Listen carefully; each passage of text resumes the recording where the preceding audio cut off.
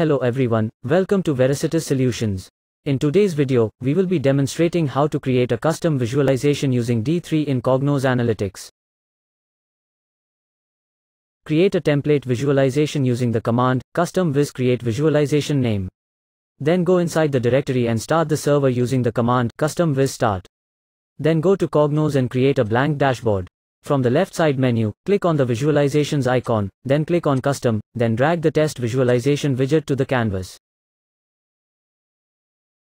Now go to Google and search for D3 Liquid Fill. Click on the first link. Now scroll down, copy the JavaScript code and save it in your render folder inside the custom visualization directory. Then go to the visualization directory and, inside the render folder, open the main TypeScript file. Now go back to the D3 web page and copy the D3 URL and import it into your TypeScript file.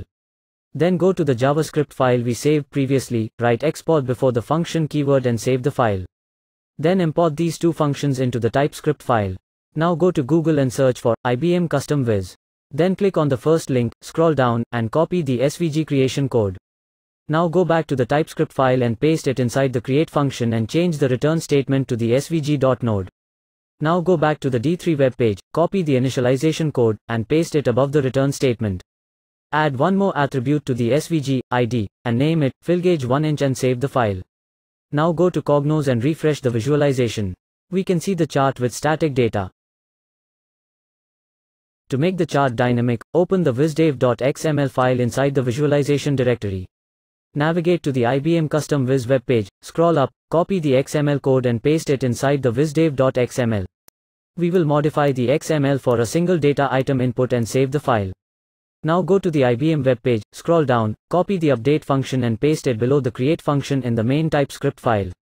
The update function will update the chart when the input changes.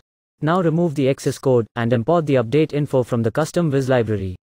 Now write an else statement which will execute when data is available. Inside the else statement, declare a variable that will hold the input value. Now go to the D3 web page and copy the update chart code and paste it inside the else statement. After that, create a private class variable and use this variable using this keyword.